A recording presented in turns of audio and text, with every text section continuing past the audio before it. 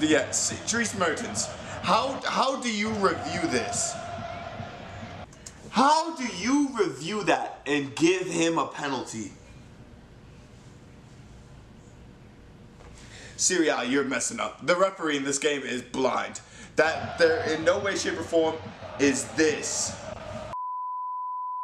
Serie A is officially back, guys. It is finally returned. The League of Italy, which has been arguably, you know, one of the most speculated about, one of the most talked about throughout the summer transfer window, whether it's been Inter, AC Milan, Roma, Napoli, Juventus getting, you know, Matthijs de Ligt, uh, Fiorentina getting new American owners, uh, you know, where's Federico Chiesa gonna go, the Italy U21 Euros, everything has led to the beginning of the season, and there was no better game to kick it. Oh, well, I say kick it off, but it was the second game of the day. But it was the best, best game. You know, the, the drama, the controversy, everything involved with the game was absolutely wonderful.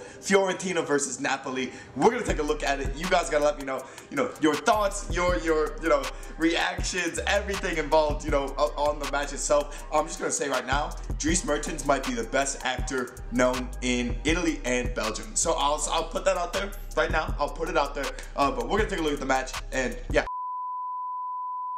As always, you can find the original video just down in the description below.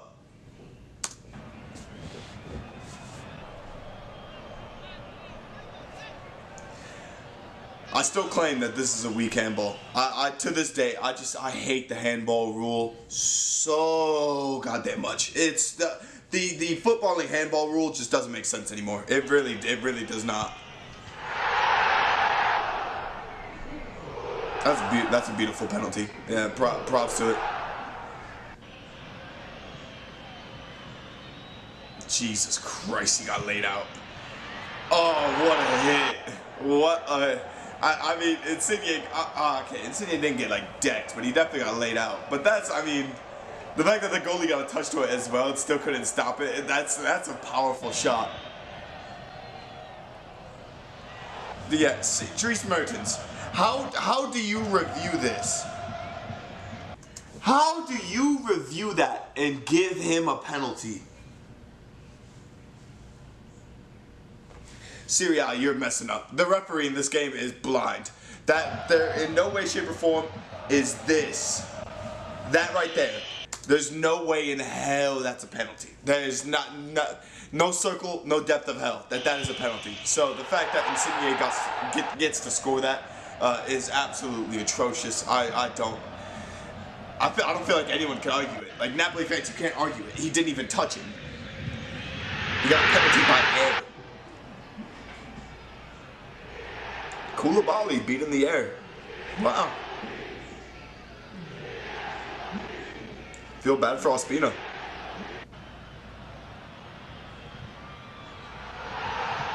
Oh, great hit. Great. Uh, so Dries Mertens, I mean, he made up for it for the. I mean, I mean, I can't say he made up for it. He just he, he made up a goal for himself anyway. So he scored one either way. Oh, sorry, that was Callejon's goal. Never mind then. The entire front three of Napoli getting on the. Callejon knows that er, Hirving Lozano's there for his job. He's got to score some goals.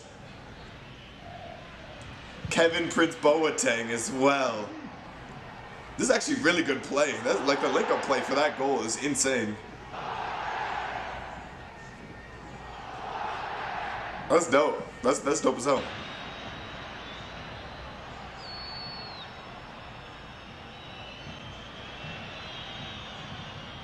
Oh, that's a what a through ball. The link up play for that is so nice. Like the, the run on the far post to then uh, be able to then plant that in. Is, uh, is that Callejon's assist? Yeah, that's such a good assist. That's such was that Callejon or, or Fabian Ruiz? I could not tell.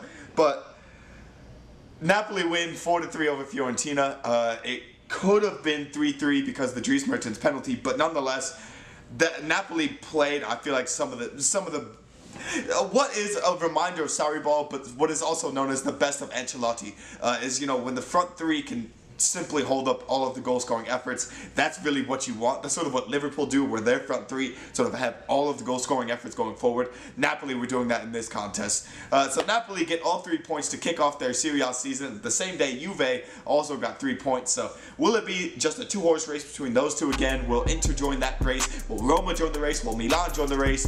You guys gotta let me know down in the comments below. Thank you guys so much for watching, and peace.